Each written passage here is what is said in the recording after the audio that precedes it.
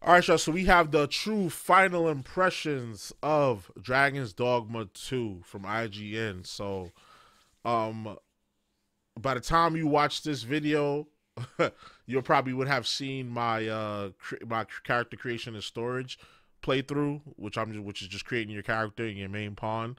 You'll probably have seen that already in my other review and my other reaction with uh Maximilian Dood's gameplay.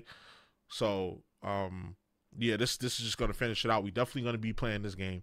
So let me stop yapping and let me get to the video.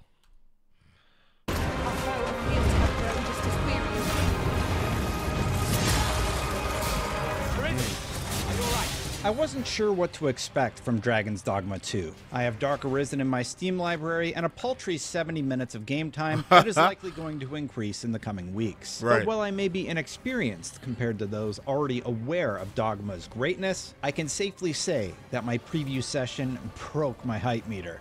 I cannot wait to play more. Mm. He talking real good about the game. I mean, it, this might be one of the After being ones. dropped into a random save that started me in the middle of a town with the Mystic Spearhand vocation, I wasn't really sure where to go. But that was the beauty of this demo. Dragon's Dogma 2 organically gave me plenty of options for what to do next, and there's no wrong answer when it comes to how you want to play this game. I was almost immediately greeted by a traveler asking me to find their orb, because if it wasn't found, his master could have him killed.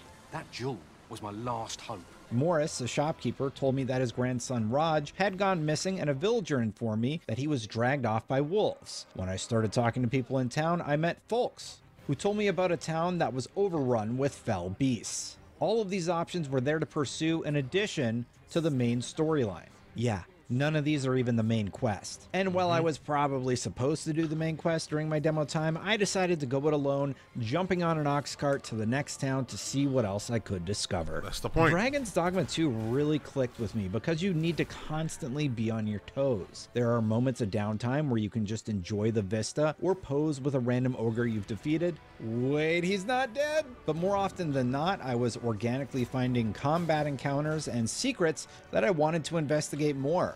And that amazing loop was consistent as I made my journey back to town. Over the course of 80 minutes, I fought a griffin that flew me into the air and dropped me to my death. Oh, sh.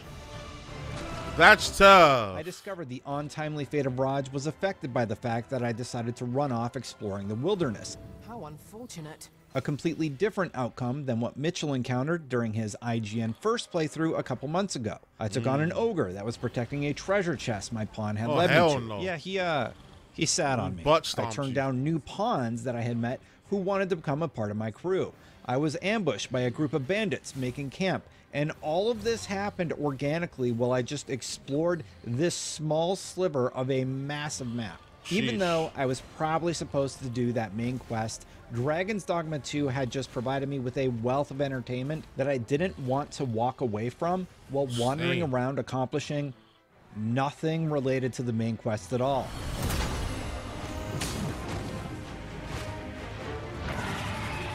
I still think that they should have had the those, those beasts. Here's one example. I had a fight with this griffin earlier. Now, while trying to hunt him down for round two, I've come upon its nest. I leap into action with flawless skill. And it would seem I'm taking this fight on a little early because it starts at daytime and goes until the game cycles to nighttime.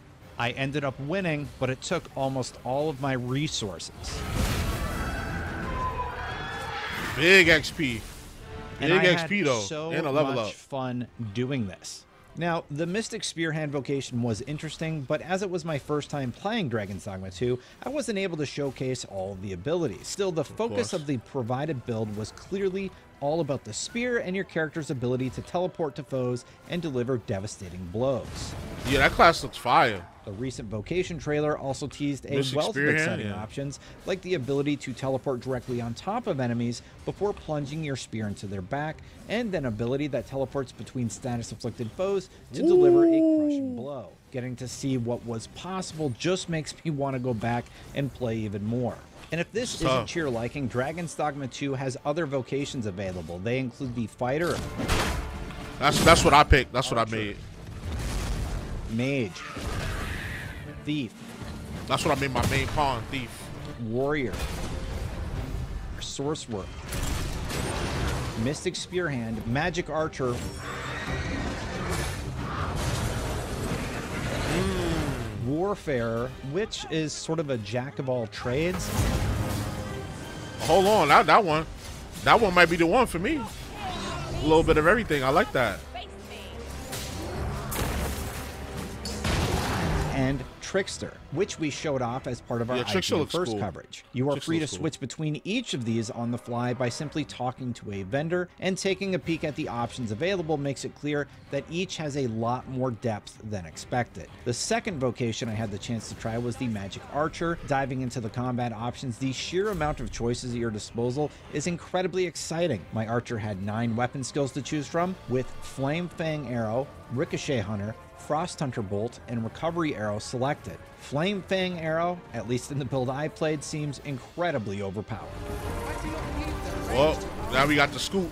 That's gonna be But the meta. anyway, when the time came to jump over to play the second vocation, I began by being ambushed in a tavern town Boy, what's your problem? Only to make quick work of my opponent by stun locking them with Ricochet Hunter and Frost Hunter Bolt. It was an incredibly powerful combination, so powerful that the Griffin we encountered never stood a chance. In hindsight, I could have started Griffin is this strong, a little damn. better.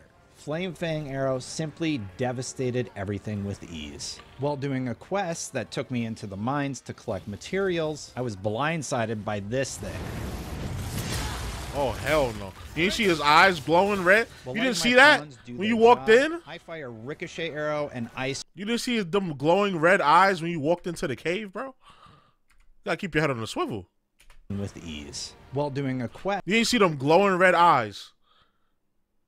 gotta keep your head on the swivel, that gangy. A ricochet arrow and ice arrows at the opponent, as well as the very powerful flame fang arrow. Encounters like this and the griffin encounter before really demonstrate up, how powerful the correct pawns are when paired with a good vocation. It also did a great job to break up what I thought was a mission to collect rocks. This was constant throughout my playthrough, and I love how the game just keeps you on your toes all the time. Well, the gameplay was amazing, and I can't wait to get back to play more. There was one concern I've seen the community curious about, and that's Okay. the uncapped frame rate on console. When looking at this, it should be noted that I am playing a version which Capcom clearly states is still in development, and it's not equivalent to the final product. But in this build on PlayStation 5, Dragon's Dogma 2 was averaging around 31 frames per second, with dips during heavy combat moments while playing with the PS5 set to output at 4K. I did not get to test at lower base resolutions hmm. or with variable refresh rate turned on during my time to see if that had a positive impact on performance. However, if I had one hope, it would be that Capcom added more options in the frame rate department, including, at minimum, a capped 30 frames per second mode on console. That said, the gameplay was so fun that it was hard to walk away focused on anything other than my genuine excitement to play more. And as someone that primarily plays on PC, the frame This rate game, this game could use the variable, the variable frame rate. Like what is it called? Uh, D, DLSS or something or whatever it's called. That variable frame rate shit. Because you could, as long as you keep the combat smooth, you could take out some of the textures here in the back and focus everything to the fight because that's where you're looking at. I don't know. That, that could be something. I don't know if that's I, that's possible on consoles. I believe. it didn't bother me that much because the gameplay is that fun. But I'm I'm definitely going to play on my PC. My demo ended in the dead of night trying to help a character navigate the spirits, zombies, and monsters waiting for me in the darkness. But after playing almost two and a half hours, there's no denying that Dragon's Dogma 2 had me hooked. I cannot wait to play He- more on March 22nd. He didn't If you wanna wanna off see the more game. About Dragon's Dogma 2, be sure to check out our IGN first coverage. And for more on all things gaming, keep it right here on IGN. Yeah, he ain't even want to come off the game. I could tell. He was like, "Damn, like I gotta stop playing, bruh." Yeah, that that just got me even more excited for the game. Like I saw, um, I don't know if you guys watched my other reaction. I'll probably link it here. So Maximilian playing, he was he was facing some lizards he ran he was ran into like a dark path on the way to this town, and he was fighting some lizards, and it was getting overwhelmed. So you had to retreat. So nearby was a town, so he retreated into the town. The lizards followed him into the town, and the townspeople started popping off. Everybody woke up out their sleep. They got they got up from the bar, got up from what was watching their clothes or gathering water from the well, and pulled out their swords and just started wailing. And they said and they helped them defeat the lizard. I thought that was so cool because usually when that happens in games, it's either like it's a glitch, the enemy can't come into the town, or the enemy are coming to the town, fucking everything up. And the villagers, all these warriors, all this armor on, just standing there, and the villagers like oh, ah, like. But they really popped off. Like they, them, the villagers really got up, put their armor on, came out the bar, came out the crib with their swords, and just started started wilding. And they defeated the Wiz- with lizard people. I think that was so cool. I would love to capture a moment like that on on stream while I'm playing. So yeah, definitely hyped for this game. Definitely gonna be playing this game. I'll probably play this one first because Rise of Ronin, Rise of the Ronin also comes out the same day. So I'll probably I'll probably play this first and then play Rise of Ronin. So you expect that on the channel, right? So y'all let me know what y'all think down in the comments. Let me know if y'all gonna cop this or whatever. So y'all already know the vibes. Like, comment, subscribe, all that good stuff. Your boy Justice Falls. We out. One.